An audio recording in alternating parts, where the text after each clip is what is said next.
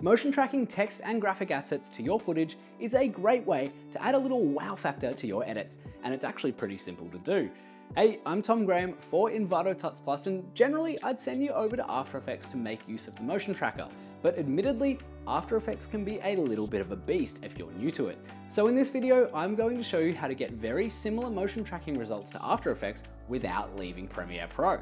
But don't worry, if you do also want to learn how to motion track in After Effects, I've just put out a little guide for that as well, and you can find that linked in the description below or at the end of this video. All right, enough chit chat, let's open up Premiere Pro and get tracking. So getting started with this effect is really easy. All I've done so far is open up Premiere Pro and I've brought it in the media that I'm going to be working with. I've got this mountain biker clip here, uh, which we'll see, and then I've got a little speedo overlay, which I'm going to track to uh, our mountain biker. So first up, I'm going to create a new sequence from the clip here. I'm going to right click on our mountain biker clip and go down to uh, new sequence from clip right here. And there you go, now we've got a new sequence from the clip. Uh, I'm just gonna zoom in a little bit here so we are working with just our piece of footage. And you can see here, let's play it through, you know, to see what we're working with. We've got this mountain biker moving along pretty quickly, quite a lot of motion, uh, and then we wanna track our little speedo overlay to it. So the way we're gonna do this is quite simple, really. We're going to start by grabbing a text layer and just creating a uh, full stop, really. I'm just gonna do a full stop. You can do anything really, but I think a full stop will work and I'll show you why. So going into our captions and graphics tab over here, just to uh, highlight our full stop here, using Command A, uh, I'm just gonna increase the size of the full stop here to around the size of our mountain biker's head. And now I'm gonna go back to my editing tab just to get a little bit more screen real estate. Making sure that the graphic is the same length as our mountain biker clip here, I'm going to go back to the start of our timeline. I'm going to select our full stop clip, go up to the effects controls, select our text here, and then I'm just going to grab the anchor point here and move it right into the middle. So basically what motion tracking is doing is it's taking a point uh, in space here and we're going to motion track this guy's head uh, and then tracking that every frame or every sequence of frames throughout and just kind of making sure that we're plotting that positional data all the way through. And then we're taking that positional data and we're copying that over to whatever asset, in this case, this speedo overlay, uh, whatever asset we want to be tracked along to our footage. So to do that, we're going through to the start. We've got our little anchor point set in the middle uh, like we did just before. And then we're going to go up to our effects here and we're going to search for something called transform. And we're going to take the transform, which is under distort, and we're going to put that onto our layer. What we want to do is we want to set a keyframe on the position parameter at the very start of our timeline. And again, making sure that we've got our uh, full stop layer selected, we're just going to set a position keyframe. But the first thing we need to do is set where we want it to be. So what I'm going to do is I'm going to zoom in here, probably 400% just so we can all see it nice and clearly.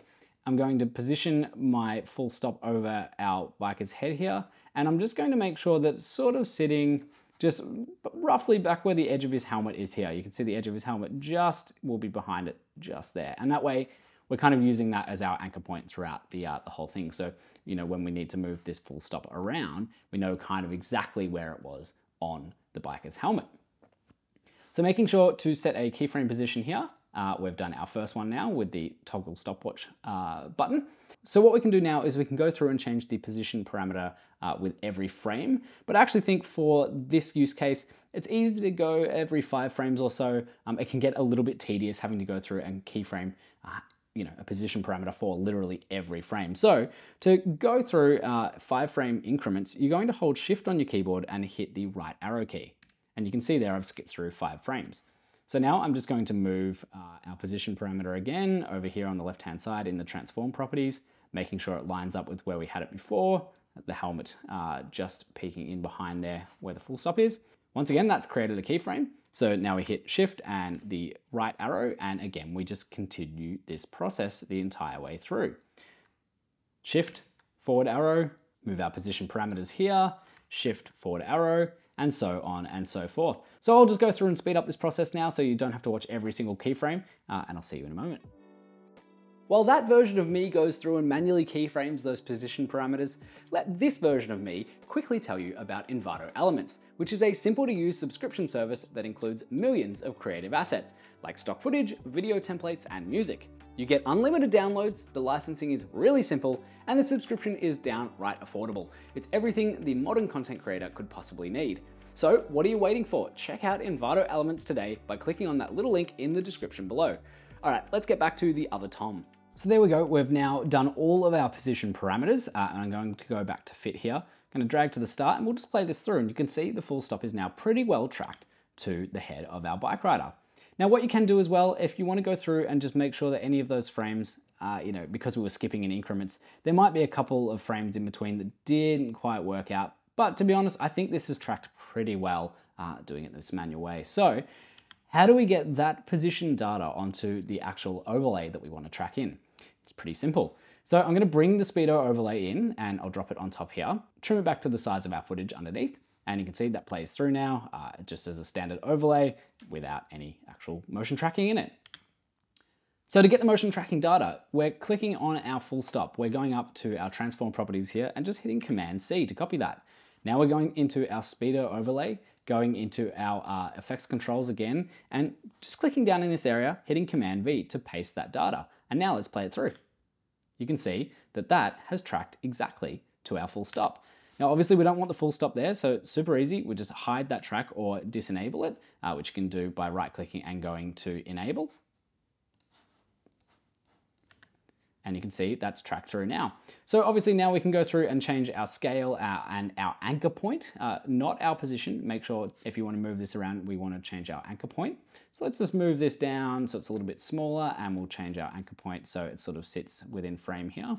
And we'll see what that looks like throughout the whole piece. So now our little uh, speedo overlay animates on and it goes through that entire process. And now the best thing about using the transform property to do this is uh, you can add some motion blur in the shutter angle here. So I'll just find a piece here uh, where you can see the overlay. And if I move this to 180, uh, which is a common shutter angle, you're gonna get some nice motion blur as you move through. Uh, we can get more motion blur if we want, if we make that a 360 degree shutter angle. You're going to get quite a lot of motion blur. So we'll play that through with the full motion blur now. And I think that's probably a bit too much motion blur, so we'll bring it back to 180 uh, and then we'll play it through. So there we go, that's the manual way of motion tracking objects within Premiere Pro, and it yields some pretty decent results, I think you'll agree. Now, if you are interested in learning how to do this in After Effects, make sure to click through to the guide that I made for that. It should be popping up around me somewhere just now. And while you're at it, if you haven't already subscribed to the Envato Tuts Plus YouTube channel, make sure you do so right now. Okay, until next time, happy tracking.